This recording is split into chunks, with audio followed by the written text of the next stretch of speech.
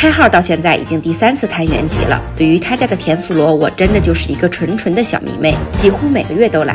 搬迁以后第二次打卡，今年的五月刚刚开业哦。虽然惠比寿的新店是开在一个楼里，但掀开门帘，这个迷你雅致的日式小庭院一下子就把格局打开了，连天花板上的那棵树也跟着 chef 一起搬了过来，看起来比老店亮堂，也宽敞了不少。熟悉的开场炸虾头，似有似无的面衣，清晰可见的纹路，果然还是那个销魂的老味道。虾身一直半生蘸盐吃，莹润鲜甜；另一只全熟蘸萝卜泥，紧致弹牙。每次都要被主厨炫了一番。炸蔬菜是原基的拿手好菜，笋尖娇嫩，中段多汁。更轻柔的是那薄如纱一般的薄脆面衣。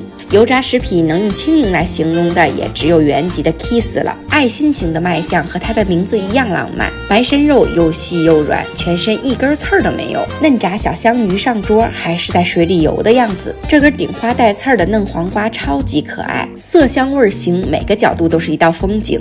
为了避免每次来都不够吃的尴尬，一个眼神飘。给了主厨，就来了两份镇店之宝的紫苏叶包海胆，冷热交替，在嘴里瞬间化开的口感，吃多少个都不会腻的。全场最惊艳的就是这道菜，开始还以为是油豆腐呢，扒开后才知道是炸玉米。过油以后，里边的汁水全部爆了出来，说是固态的玉米榨汁也不过分，几乎快要超越紫苏海胆在我心中的第一位了。每次来原鸡都有一种温故知新的感觉，传统的味道里总能找到源源不断的惊喜。尤其是他家的蔬菜天妇罗，大部分都是其他店根本做不出来的口味。如果说传统天妇罗吃的是一种熟悉的味觉记忆，那么原籍一定会让你对田馥罗有新的认知。